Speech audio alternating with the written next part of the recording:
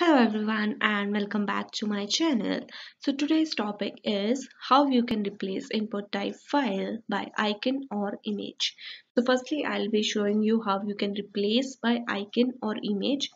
After that I will show you how to display the image that you have chosen after replacing it with image or icon. So I have created this view in which I have created one input type file so let me show you code. I have given title input file change. After that there is a heading change input type file to icon. After that input is defined. Last is script is included. After that let me add font awesome link. You can use your own icon. Firstly I'm going to create a label and in label define i tag pass class in that. That is fa fa plus plus icon i'm using. Let's check in browser. So plus is coming. Now next what we need to change. So let's just give some styling to the plus icon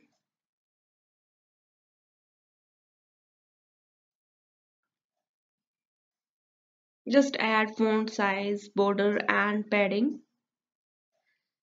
After that copy the styling and paste it.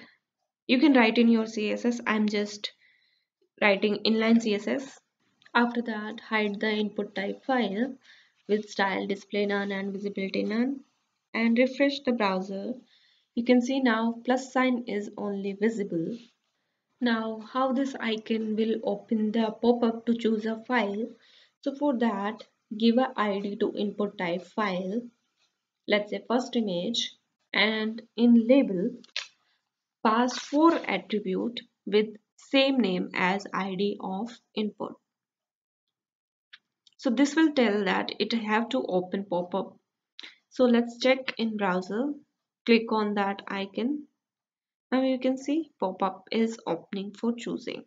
So select a file so now you can see it is not visible that we have to click the icon. So let's add cursor pointer to css of label. Now after that if you will check in browser refresh.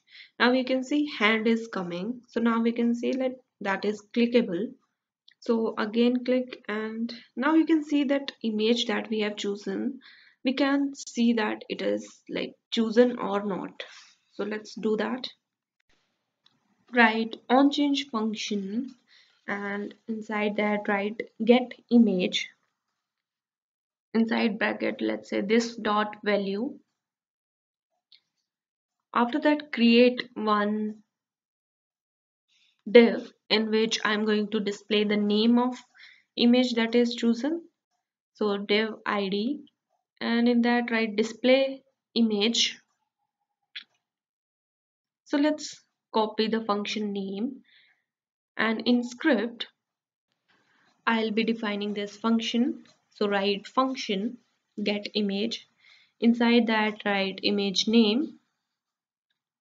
Now in curly bracket write dollar. I'm just going to display the image name in the div that I have defined that is display image. Now let's go in browser click on icon and choose a file. Uh, file name is not coming. So there is no error as well. Okay I have just pasted the name. I just need to pass the ID so again choose icon now you can see image name is coming but fake path is also coming here. So you need to remove that. So let's go and do that. So in script write var new image equals to image name dot replace if I'm just passing a pattern like if slash is found in that then replace it with blank and pass new image name. So again let's go in browser and check. Refresh select a file. Now you can see no fake path is coming. So inside label you can pass any icon or image if you want to. All you need to do is but that input type and label for is having the same name so let me show you by image as well. So I have included this image. After that hide the icon one and write image src equals to download dot png and in browser refresh you can see now image is coming. And also give styling to it. Let's just first give width and height. Width is 100 and height 100 now it's coming in small pop-up is also opening so now let's just give it style of cursor pointer so in this video I have shown you how you can replace input type file by an icon or image so I hope this video is helpful. Please like, share and subscribe to my channel. Thank you so much for watching.